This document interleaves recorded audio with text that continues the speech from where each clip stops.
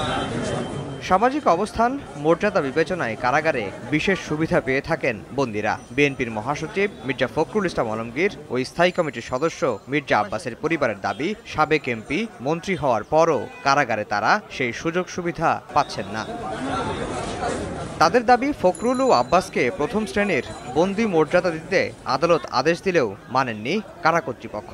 তাদের রাখা হয়েছে অন্য সাধারণ বন্দীদের মতো। সে কারণে মঙ্গলবার হাইকোর্টে রিট করেন মির্জা ফখরুলের স্ত্রী রাহাতারা বেগম ও আব্বাসের স্ত্রী আফরোজা আব্বাস। দুপুরে শুনানি হয় উচ্চ আদালতে। রাষ্ট্রপক্ষের আইনজীবী মৌখিকভাবে আদালতকে জানান, আজ থেকে তাদের ডিভিশন দেয়া হচ্ছে কারাগারে। জেল কোডের নয়শো দশে স্পষ্ট বলে দেওয়া হয়েছে, শিক্ষিত বা সমাজে যারা উচ্চ শ্রেণীতে রয়েছেন বা ওনারা মর্যাদা সম্পন্ন জীবনযাপন করেন, তাদের সেই জীবনযাপনের সাথে আর কি সামঞ্জস্য রেখেই সেই সুযোগ সুবিধাগুলো দিয়েই সামাজিক অবস্থান, মর্যাদার সাথে বিষয়গুলোকে বিবেচনা করেই তাদেরকে সেই ডিভিশন দেওয়ার বিধান রয়েছে এবং সেটা দেওয়া হয়েছে ফলে ওনারা কোনো ধরনের সুযোগ সুবিধা থেকে বঞ্চিত হননি বা হবেন না। বিএনপি নেতাদের আইনজীবীর দাবি আদালতের আদেশ অমান্য করে মানবাধিকার লঙ্ঘন করেছে কারা কর্তৃপক্ষ।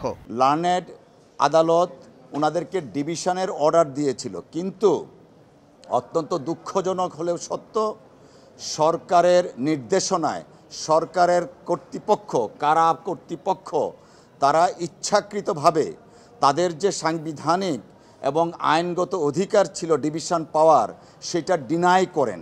ওনাদেরকে গ্রেফতারের পর থেকে নর্মাল কয়েদিদের মতোই তাদেরকে রাখা হয়েছে বলে আমরা তাদের স্পাউজের স্পাউসদের মাধ্যমে জানতে পেরেছি।